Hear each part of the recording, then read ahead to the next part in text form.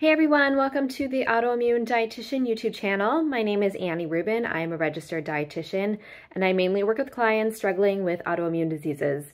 So in my work with my clients, I help them use nutrition as a way to improve their symptoms, reduce their inflammation, and improve their quality of life. So today we are talking about different plant compounds that help reduce inflammation and if you've watched my few videos before this, we've talked about a number of different ones, and today we are focusing on flavonoids. So plants are, you know, really interesting because they are very powerful inflammation fighting machines, and they produce a number of these special compounds as a way to protect themselves from the surrounding environment. And flavonoids are one type of these naturally occurring compounds that reduce inflammation and oxidative stress in our bodies.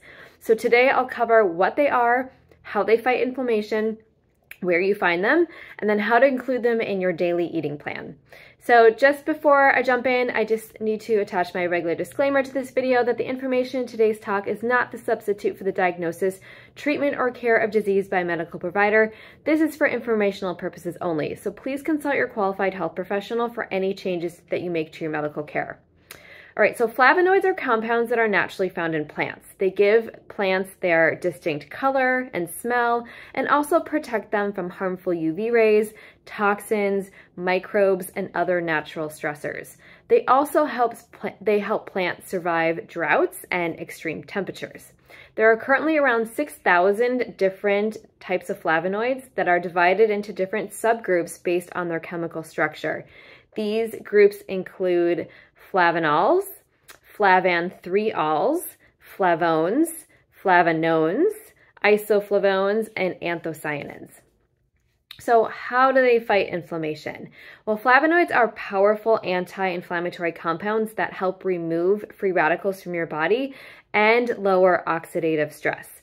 They also help your body recover from inflammatory reactions. And one of the ways that they fight inflammation is by inhibiting the COX-2 enzyme. Uh, this enzyme is responsible for increasing the production of prostaglandins, which are local hormones um, that initiate an inflammatory response. So to put this in perspective, NSAIDs, which are like your Aleve and um, uh, Motrin and those types of, you know, over-the-counter medications, those, those are also COX-2 inhibitors, which is why you take them when you have pain and swelling. And so flavonoids actually do the same thing, which is pretty cool.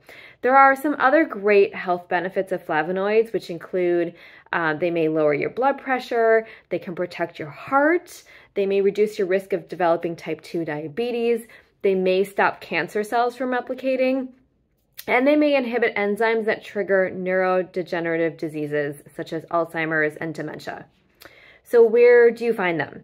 Um, so I'm going to break down all the different groups and the subgroups of flavonoids and list out a few foods that are included in those groups so you have a better idea of how to get these into your diet. And generally speaking, they're found in most plant foods. So flav starting with flavonols, um, flavonols are found in onions, kale, grapes, and red wine, obviously, um, tea, peaches, berries, tomatoes, lettuce, scallions, and broccoli. If you're also familiar with quercetin, it's a very powerful anti-inflammatory um, compound. Quercetin is actually a type of a flavonol. Flavan-3-ols include tea, which that includes black, green, white, and oolong tea, apples, grapes, blueberries, strawberries, and our favorite cocoa and chocolate. Flavones are typically found in blue and white flowering plants, and they act as a natural pesticide, which is pretty cool. Um, flavones include things like parsley, red peppers, celery, chamomile, peppermint, and mint. Flavanones are found in your citrus fruits, so lemons, limes, oranges, and grapefruits. Um, isoflavones, we all know those um, typically because of soy, so they help keep our hormones balanced. You find them in soy, you also find them in fava beans. And then anthocyanins um, give flowers their red, purple, and blue colors. So foods that are red and blue and purple also fall into this category. So think like berries, grapes, um, you know, strawberries, eggplant, those types of things. All right, so how do you get them into your diet? I, just, I gave you like a whole list of foods.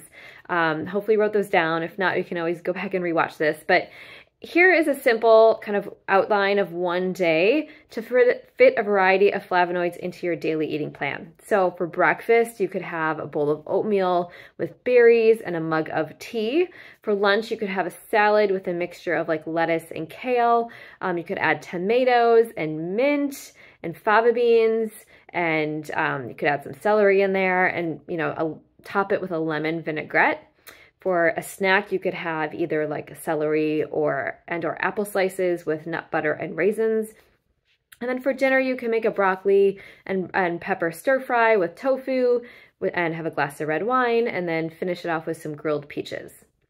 So just to recap, today we focused on flavonoids, they're powerful anti-inflammatory compounds. They are COX-2 inhibitors. You find them in a variety of plant-based foods, and it's pretty simple to get them into your diet on a daily basis.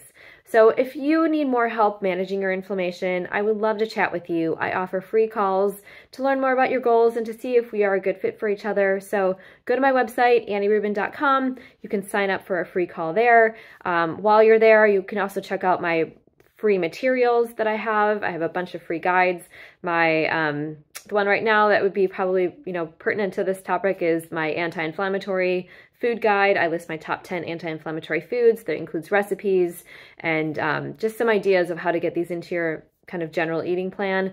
Also, I put out a weekly newsletter, so if you're interested in, you know, learning more about nutrition and lifestyle and how that relates to inflammation and autoimmune diseases, you can sign up for that on my website as well. It comes to your inbox every Thursday. And lastly, if you like the video, please hit the little subscribe button. These come out about every week. I'm always talking about something related to, again, nutrition and inflammation. So check those out. Um, and you can also follow me on Instagram, The Autoimmune Dietitian, and on Facebook, Annie Rubin Nutrition. So thank you so much for joining me today and catch me next time.